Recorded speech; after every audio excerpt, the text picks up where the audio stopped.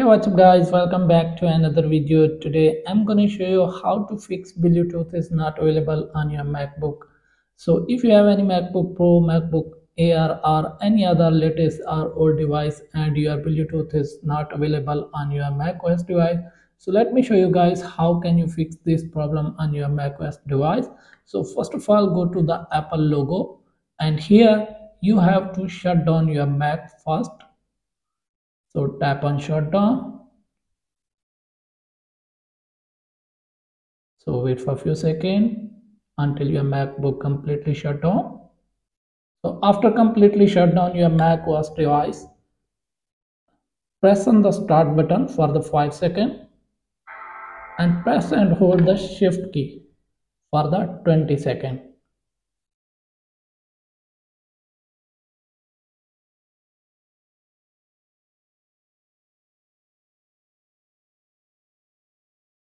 So now release the key and wait for a few seconds. So as you can see, MacBook has been started with the shift mode. So now log in. Here enter your password and tap on enter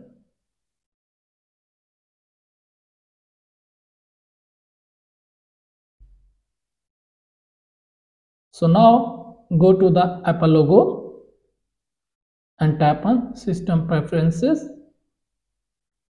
So here tap on sharing. Here is sharing. Tap it and as you can see here is Bluetooth sharing. Click on Bluetooth sharing and tap on open Bluetooth preference. So here unclick the show Bluetooth in menu bar and re-click it again. Now go back. And here tap on turn on bluetooth. So now go back and restart again your mac os in the normal mode. Restart it.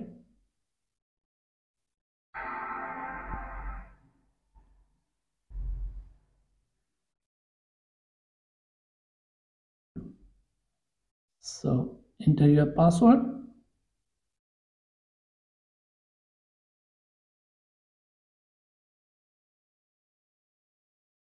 So now as you can see here is bluetooth available.